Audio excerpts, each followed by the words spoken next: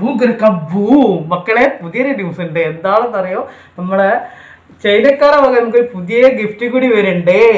കഴിഞ്ഞ കൊല്ലം നമുക്ക് കൊറോണ വന്ന് ഇക്കൊല്ലം റോക്കറ്റ് പാവത്തുങ്ങളെ കൈവന്ന് കൈവിട്ട് പോയി എന്നാ പറയുന്നത്. ഇവിടെ വികും എന്താവും എന്നറിയില്ല അപ്പം മാസ്ക് ഇട്ടാലും മാസ്ക് ഇട്ടില്ലെങ്കിലും മരിക്കുന്നുള്ള കാര്യത്തിൽ ഒരു സംശയമില്ല. കുട്ടികളെ വേണമെങ്കിൽ ഇങ്ങനത്തെ ഒരു ഹെൽമെറ്റ് ഒക്കെ വാങ്ങിയിട്ട് ജീവി ജീവിക്കാൻ ആഗ്രഹം ഉണ്ടെങ്കിൽ വാങ്ങിക്കോളി. ഞാനിതാ ഇങ്ങനത്തെ ഒരു ഹെൽമെറ്റ് ഒക്കെ വാങ്ങി സുരക്ഷിതമായിട്ട് വീട്ടിലും പുറത്തൊക്കെ ഞാൻ ഇങ്ങനെയാണ് പിന്നെ അത് കൂടാതെ നിങ്ങളുടെ ഹെൽമെറ്റ് വാങ്ങുമ്പോൾ ഒരു കാര്യം കൂടി ശ്രദ്ധിക്കുന്നത് ഇങ്ങനത്തെ നിലവിളിക്കുന്ന ഹെൽമെറ്റ് തന്നെ വാങ്ങണം. എന്നെ രക്ഷിക്കൂ എന്നെ രക്ഷിക്കൂ എന്നെ രക്ഷിക്കൂ.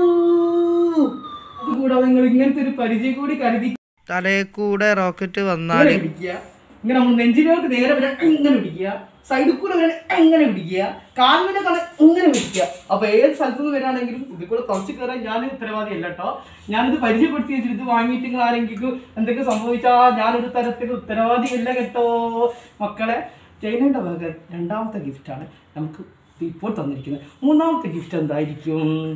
അപ്പോൾ എല്ലാവരും അത് ആലോചിക്കുക നമുക്ക് ചൈനയിലൊക്കെ ഫ്രണ്ട്സുകളില്ലേ അപ്പം എന്ത് പറയണം? പാവത്തുങ്ങളെ കൈ വിട്ട് പോയതാണ്.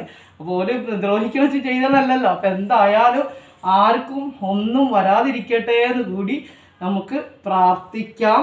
അപ്പം ഇതാരും മറക്കണ്ട നിലവിളിക്കുന്ന നിലവിളിക്കുന്ന നിലവിളിക്കുന്ന ഹെൽമെറ്റ് ഓക്കെ ഇത് ഈ ഹെൽമെറ്റ് എല്ലാവർക്കും കിട്ടുമെന്ന് എനിക്ക് പറഞ്ഞാൽ ഇനി ആർക്കെങ്കിലും ഇങ്ങനത്തെ ഒരു ഹെൽമെറ്റ് വേണം നിങ്ങൾ ആരെങ്കിലും ആഗ്രഹിക്കുന്നെങ്കിൽ ഇന്നെ വിളിക്കണ്ട. ഞാൻ തരൂല. ഇത് എനിക്ക് മാത്രം.